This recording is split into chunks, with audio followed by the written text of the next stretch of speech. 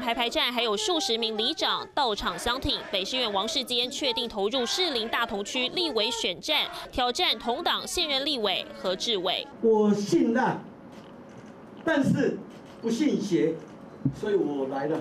十五年前立委选举，我在士林大同区跌倒，所以现在我要在这里站起来。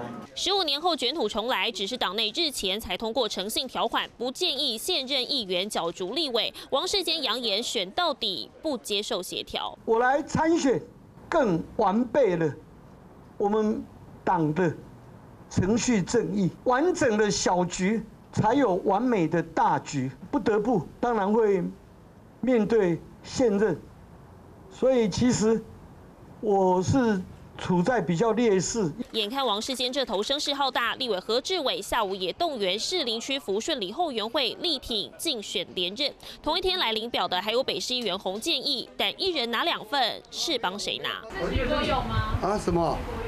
徐国勇没有了，不是啊，不要乱猜。部长有在考虑啊？我不清楚部长有没有考虑，你们要打电话问他。他有拜托你来帮我领表？哎，他有拜托我领表。他他他他以前有说过了啊，这一次没有说。哎，这是不小心说溜嘴吗？毕竟传出前内政部长徐国勇也有意出马挑战何志伟，引发关注。民进党立委初选登记开跑，监委大战确定上演。三立新闻李维婷、陆美君报道。